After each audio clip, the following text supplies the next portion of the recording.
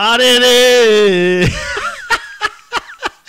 Arerê, rapaziada! O Criciúma amassou! Vamos acompanhar a, a reação né, do Alex Magé em mais uma derrota do Grêmio. Ele mesmo tinha avisado, senhores, o Grêmio não está jogando nada. Vamos acompanhar, deixa o joinha, deixa o like aí no vídeo, compartilha com os amigos dos grupos de WhatsApp. E é claro que esse vídeo tem o apoio de Mais Ágil, que antecipa teu FGTS em até 24 horas. Então entre em contato com eles pelo link que está no comentário fixado e antecipa o teu FGTS. Se você está precisando de uma graninha extra aí para pagar suas contas, fazer investimento, antecipe teu FGTS com a Mais Ágil. Além do mais, a Mais Ágil também, ela sorteia todos os meses 10 camisetas, 10 camisas oficiais do teu time do coração. Não fica fora dessa, Mais Ágil. Antecipando teu FGTS com a Mais Ágil. Bora pro vídeo, gurizada! Mais pra zaga da equipe do Criciúma. Bola pro Newton. Caramba, velho, Criciúma, Olha o espaço, o Alano tá pedindo sozinho aqui na direita, é o passe que ele fez, atenção, tá chegando, ponta direita, Gustavo Martins Caramba. Marcação, Alano tentou uma pedalada, escapou, ele segura essa bola, agora vai no corpo ali o Gustavo, a bola voltou pro Newton, cruzamento na marca penal, Arthur Kaique bateu na trave, vai fazendo o rebote, é gol do Criciúma. gol do Criciúma. Caramba. Cruzamento do lado direito, a bola na marca penal, um bago na trave e voltou para o jogador do Criciúma, o Arthur Kaique, botar para o fundo da rede. Incrível a chegada do Criciúma, agora o cruzamento na área, a bola foi pro Arthur Kaique, encheu o pé, sozinho, a marcação do Rodrigo Caio falhou, a jogada nas costas do Reinaldo, a bola na trave, e aí voltou no pé, de novo do Arthur Kaique, aí ele completou com extrema tranquilidade, já tinha quase aberto o placar. O Criciúma numa bola que errada do Martin, mas agora foi o erro também defensivo do Grêmio, esse time que toma gol por loteria, que toma gol a todo jogo, e o Criciúma sai na frente da equipe do Grêmio, aí o Picão... Uma jogada rápida pela direita, né, Thiago? Uma bola botada no Alano, ele pedalou, foi para um lado, para o outro, para cima do Gustavo Martins, desistiu da jogada, recuou, e aí o cruzamento de primeira feito pela equipe do Criciúma, a bola chegou no Arthur Kaique, que tomou a frente do, do Rodrigo Caio com uma facilidade enorme enorme. Parecia que era um cone parado no meio da área. Ele tomou a frente do zagueiro gremista, bateu aquele voleio sem sair do chão. A bola pegou na trave, ele tabelou com ela. E com o Martinzinho já caindo, ele só empurrou para os fundos das redes, fazendo 1 a 0 para o Criciúma dentro da arena, Bagé. Gente, a gente não tem nada. Nada. Vai nada! Não tem nada. Teve uma bola enfiada lá do, do, do Vila Sante. Tem um lance lá que o que, que invadiu Sim. a área, o Vila Sante, e reclama de ter sido tocado, o Cristal, já nem lembro quem mais é. Não tem nada. Há pouco vem uma bola aérea, é, é, um filme de terror uma bola aérea no sistema defensivo do Grêmio. Aí foram lá, bateu cabeça o Rodrigo Caio com o Marquezinho. Agora o Rodrigo Caio ficou estatelado. Aí quem tinha que marcar era o João Pedro, que chegou depois. O Kaique finaliza, vai na trave. Ela volta, o João Pedro estava ainda se virando, porque é quase do meu tamanho para se virar. O Grêmio não tem nada. Sabe? Aí às vezes a gente vai analisar alguma coisa um pouco mais forte, é porque tá secando. Não. É, é, é surreal. Tem 15 minutos de jogo, nós estamos perdendo em casa pro Criciúma. E o Totó. É surreal, Thiago na garra, o torcedor merece. Atenção, Soteldo pra cobrança, perna direita, primeiro pau. Aí tirou a zaga. Bola vai com o Vilha Sante, vai brigar no meio campo. Agora no corpo, ele só girou, foi experi. Vai fazer o passe agora pro Reinaldo. Reinaldo tem a bola no lado esquerdo, dele. vai Reinaldo. Botou esse passe pro Monsalve. Aí Monsalve, a bola passa pelo Monsalve, mas ele Atenção consegue recuperar. Deles. Teve a sorte agora do craque. Passou pela marcação, Monsalve levou. Passe do Diego Costa, deixou o Vilha Sante na grande área, bateu, pega! pega!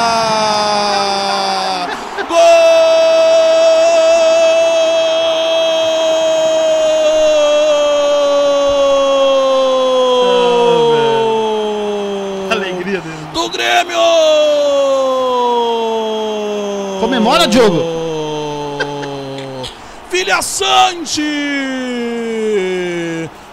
Numa jogada construída pelo lado ah, esquerdo do Monsalve, deixou pro Diego, o passe veio o Vilhaçante cortando a grande área. O paraguaio veio acertou um petardo no lado esquerdo do goleiro. Na bochecha da rede, o paraguaio Vilhaçante, o capitão do Grêmio, tá deixando tudo igual na arena. E eu tô gritando por aqui, pega, pega no fundo da rede, goleirão, empata o Grêmio Vilhaçante. É o nome da alegria na arena. Vilhaçante tá deixando o placar tudo igual, tá fazendo torcedor sorrir novamente. No gol do Grêmio aos 22 minutos. Pega, pega no fundo da rede goleirão, tá lá. 1 a 1 no placar, Pilar. Não tá jogando bonito, Charlie Veloso. Vai na raça, vai na vontade, vai no que é essa camiseta do Grêmio que é uma copeira. Uma jogada de craque, de sorte também do Cristal do Monsalve pela esquerda. Foi trazendo pro meio Diego Costa, eu solto aqui para Vila Sante com a perna esquerda como elemento surpresa. Empurra pro fundo das redes. O Grêmio empata aqui na Arena, Charlie. 1 um a 1 um, Bagé. Vamos virar, vamos virar. O gol das individualidades, né? O Monsalve sempre surge na hora que o Grêmio precisa, né? E o pivô que faz ali só no toquinho da, da, da, da, da, da inteligência, da expertise e da posição do Diego Costa. Aí entrou ele, é o melhor volante da América, né? Que seja na individualidade. Agora é hora de aproveitar essa vitamina que vem das arquibancadas com o torcedor que tá na chuva e virar o jogo, Charlie. Melhor volante da América. Pô, ele não tá vendo o Fernando jogar, ele não tá vendo outros jogadores. Ah, tá de brincadeira comigo. É quem sabe agora para lavar a alma essa chuva, colocar o Grêmio à frente. Só que a bola vai voltar e aí o Diego não foi. Só foi o zagueirão Rodrigo que impotou na direita pro Alano. Ele é encarnado, esse cara não para de jogar. Virou essa bola lá do canhoto. Atenção, Jonathan Robert Tensão de novo no instalada. Alano. O Alano agora na direita, não tem ultrapassagem. Ele deu a caneta, levou na frente o Alano, segue com a bola, ninguém tira. Ele vai levando pra linha lateral. Volta ali pro cruzamento, a bola tá na grande área, um pequeno desvio. Ficou pra equipe do Criciúma, lado esquerdo. Não é legal agora. Ronald tirou na perna direita, bateu e gol do Criciúma. Gol do Criciúma. Ronald tirou na perna direita, mandou um balaço no lado esquerdo. E o Grêmio já dava Bateu sinais que ia tomar. O Grêmio já dava sinais que ia tomar o gol do Criciúma. É uma noite que não é pra acontecer, não adianta, não adianta forçar na força. Um time que não tem absolutamente nada, que faz força pra empatar com o Criciúma na arena, não merece uma maravilha. vitória. E uma vitória que também não vai significar absolutamente nada se for acontecer pro Grêmio, que nada muda aqui. Nada muda no Grêmio.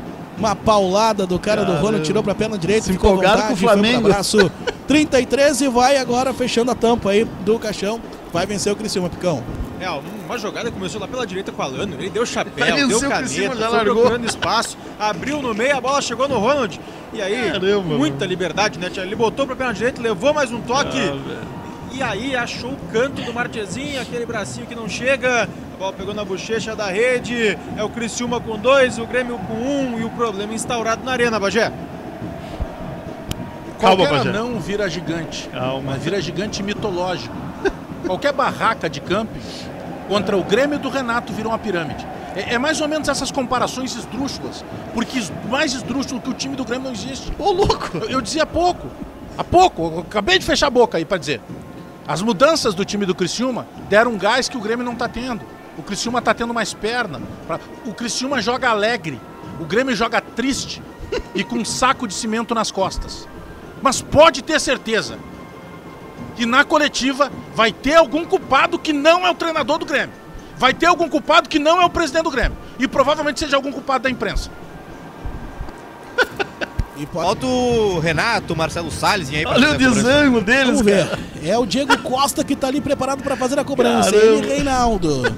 Diego já fez aí, tá? Desânimo. É ele e o Reinaldo na cobrança. Pode ser a esperança do Grêmio para um empate melancólico com o Criciúma. Eu vou torcer para essa bola. Eu vou torcer para o Grêmio empatar esse jogo. Atenção por um pingo de dignidade nessa partida. É só o que eu peço é esse gol. Vai autorizar o árbitro. Autorizou, vem Reinaldo, bateu na barreira. Chegou, dividiu com o goleiro, pegou! Ele pegou. Pegou o goleiro! Reinaldo bateu, ela desviou na barreira, o goleiro catou. E a vaia? firme, a antes vaia de Gustavo agora? Martins empurrar para o fundo da rede aí, o Pilar. Catou, catou. Não é pra entrar, Charlie. Não adianta. Bola batida do Reinaldo, uma jogada ensaiada. Bola rebateu na barreira, sobrando os pés do Gustavo Martins. Chegou antes o goleiro Gustavo. Fez a defesa, a aí o árbitro da partida comendo. pediu a bola. Vai, vai, vai apitar o jogo, Charlie. Tá esperando o VAR para terminar, terminou. Terminou, este é o som da arena. Ouça a arena. Vamos ouvir a arena. Esse é o som da arena. De quem pagou o ingresso, de quem veio apoiar o Grêmio e viu uma derrota pro Criciúma. Bom, agora se virem para explicar. Se virem para explicar essa vergonha que a gente acompanhou aqui na arena. Nana Tô neném. fechando o microfone sempre no apoio de KTO. Presidente Alberto Guerra, eu quero mais uma vez lhe fazer um pedido. Não rebaixe o Grêmio. Porque, presidente, Calma, o senhor é um calma. cara brilhante. O O senhor é um, um- um- foi um dirigente que, por exemplo, descobriu o Kahneman. Brilhante. Foi lá catar o Kahneman, estava lá no Atlas do México. O senhor tem uma história de gremismo dentro do seu DNA. E todo o presidente que rebaixa um clube, ainda mais um clube do tamanho do Grêmio, ele fica marcado para sempre. O presidente Romildo foi brilhante. O presidente Romildo conseguiu nos tirar de uma fila de 15 anos sem títulos importantes, nos dar uma Copa do Brasil, nos dar uma Libertadores, eh, conseguiu pagar conta, recuperou financeiramente o clube. E muita gente hoje lembra mais do presidente Romildo pelo rebaixamento do que pelos títulos e pela importância que ele teve enquanto gestor. Então, se o senhor for rebaixado, e mais, sabe que tem um agravante na, na- na sua situação, presidente Guerra. Ih. Porque esse ano, se o Grêmio for rebaixado, a culpa é sua. Porque eu não vou botar mais culpa no Renato. Porque o senhor é chefe do Renato. Ô, louco. E se o Renato é o grande culpado e o senhor como chefe do Renato, o senhor não consegue enxergar isso e o senhor não tem o peito de ir lá e demitir o seu funcionário que está causando problema na sua Meu empresa, eu estou amigo. fazendo uma analogia. Porque o Grêmio é uma multinacional. Com mais de 10 milhões de simpatizantes, de apaixonados. Cadê essa galera, mano? O senhor tem uma obrigação muito grande. E o senhor está vendo que a coisa está errada. Porque tudo o que poderia acontecer de errado até esse momento, o senhor ainda pode, cons- senhor ainda pode conseguir uma complicação maior, presidente Guerra, que será o rebaixamento do Grêmio, se o senhor conseguir. Porque agora, presidente Guerra, vamos falar de uma realidade. O senhor não está vivendo numa realidade. Então vamos falar agora de uma realidade. O Grêmio foi eliminado. O Grêmio perdeu o Grenal. Calma, Bagé. Vou começar pelo Grenal. Primeiro que já virou normal para o senhor perder Grenal. Tá vindo Os últimos três clássicos, olha- não é que a gente empatou. Tudo foi culpa de alguém. A culpa foi do Daronco, a culpa foi do árbitro de fora do Rio Grande do Sul. Nós perdemos os três clássicos últimos, perdemos os três. E o O próximo culpado tá nunca perto. foi o Renato. Teve um dia, por exemplo, no ano passado, há praticamente um ano atrás, que o Renato sequer ficou para dar entrevista. E ali eu gostei da sua postura. O senhor foi lá e foi firme. O senhor discordou da postura do Renato. Foi a única, nunca mais o senhor fez aqui. Nunca mais. Então, o Grêmio que foi eliminado de uma maneira infantil contra o Corinthians, de uma maneira infantil e estúpida contra o Fluminense. Porque contra o Tá Fluminense, ficando brabo. o técnico do Grêmio, ele resolveu que ele não ia escalar meias.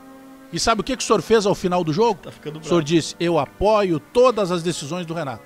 Então o Renato é culpado, mas a culpa maior é sua, presidente Alberto Guerra. Porque se tem alguém da direção atrapalhando, o senhor já devia ter tirado. Então nós vamos virar e mexer e a culpa sempre vai ser sua. Então o senhor pode fazer o que o senhor quiser. O senhor pode proibir a imprensa de entrar no estádio, o senhor pode, o senhor pode tentar o que o senhor quiser. Ninguém vai livrar a sua culpa do que está acontecendo no Grêmio nesse ano. Porque se fosse qualquer outro treinador nesse momento, ele já estaria desempregado. O Renato pinta e borda. O Renato faz o que bem entende.